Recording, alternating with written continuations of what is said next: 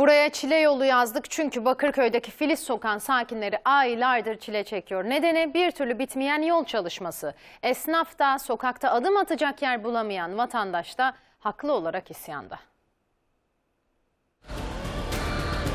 Bu bir, bir rezalet ya başka bir şey değil yani. Bitmiyor. Baksana esnafın halini görüyorsunuz. Ay çok sıkıldık vallahi. Kaç zamandır işte böyle.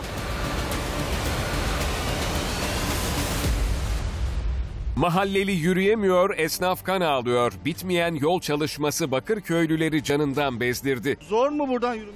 Evet çok zor gerçekten. Düşeriz diye çok korkuyoruz.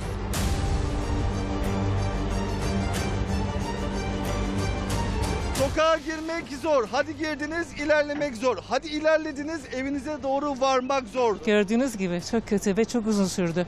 Zor da zor, zor da zor.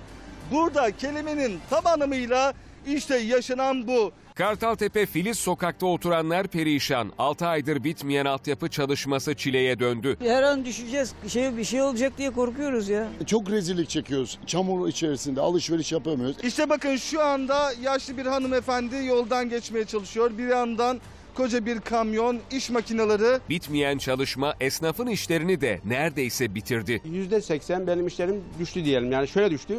Arabayla müşterim %80 gelmiyor.